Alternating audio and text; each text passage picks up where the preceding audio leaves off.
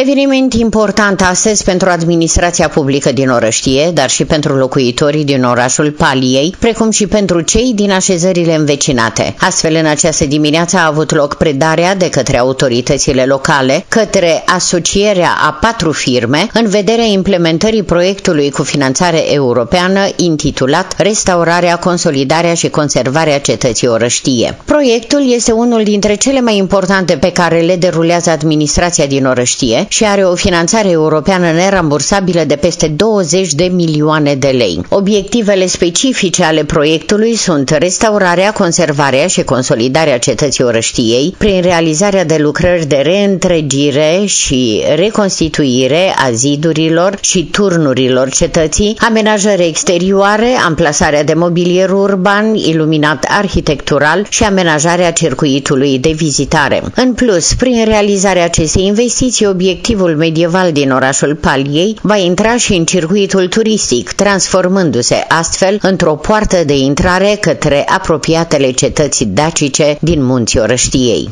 În primul rând, uh, uh, renovarea acestui zid de incintă a cetății Orăștiei, uh, renovarea turnurilor, a zonei adiacente, și uh, punerea în valoare până la urmă a centrului uh, municipiului Orăștie. Cum am spus, este un obiectiv uh, integrat. Mai sunt încă trei proiecte de investiții ale municipalității în zona centrală. Toate acestea au o valoare de peste 20 de milioane de euro. Orăștie este o poartă spre cetățile din munții Orăștiei, cetățile de la Sarin Săgetuza Regia, odată cu realizarea și a Muzeului Civilizației destinații dacice, uh, turiștii vor putea uh, vizita această zonă, inclusiv cetatea Orăștiei, se le se va asigura un ghidaj uh, specific în cetate și vor putea merge mai departe spre cetățile din munții Orăștiei.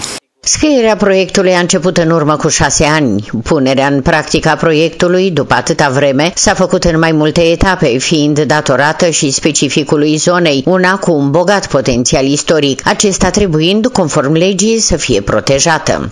Este un proiect, cum spuneam înainte, complex, fiindcă atacă mai multe probleme. Deci este o problemă de înserare a tuturor intervențiilor în zona centrală, de protejarea monumentului, de reconstrucție a unor zone din uh, partea de fortificație și de integrare în circuitul turistic uh, al zonei. Uh, proiectul a fost realizat în mai multe etape, o etapă de cercetare care a fost preliminară, după aceea au fost uh, părțile de proiect, uh, fazele cunoscute, DALI și proiectul tehnic.